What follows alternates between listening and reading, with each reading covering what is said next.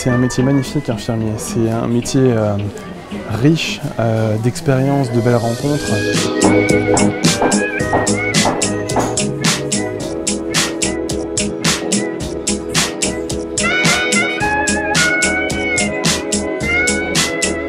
J'ai choisi ce dessin parce que c'est comme ça que j'aime euh, voir mon métier d'infirmier, le métier d'infirmier. L'histoire dans sa globalité, elle raconte toutes ces choses que j'aurais euh, aimé faire ou aurais euh, aimé être, qui contrastent avec mon métier. Quoi. Je suis pas, je suis, je suis, pas une rockstar, je suis pas un basketteur professionnel, je suis pas un super flic, mais euh, d'une certaine manière, je suis un petit peu le héros de de mes patients. On est un petit peu tous et toutes les héros de, de nos patients. Et je pense qu'on a, on a énormément de raisons d'être fiers de notre métier en fait. C'est ce côté, on est un petit peu une, ligue de, super-héros des temps modernes.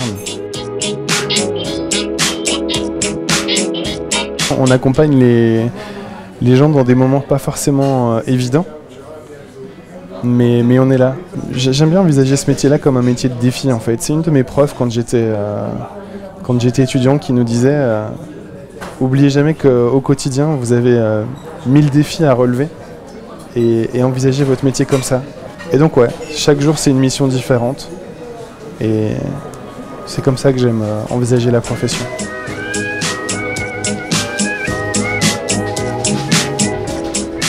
C'est pas tant le métier en lui-même qui est difficile que les conditions dans lesquelles euh, on l'exerce, avec ce, mépris assez insupportable de, nos politiques pour nos conditions de travail, euh, qui sont pas du tout reconnues, qui sont pas du tout respectées. Et euh, ouais, c'est vraiment ça qui rend le métier d'infirmier aujourd'hui difficile parce que, à mon sens, ça reste. euh, bon, je prêche pour ma propre paroisse, hein, mais ça reste un des plus beaux métiers du monde, quoi.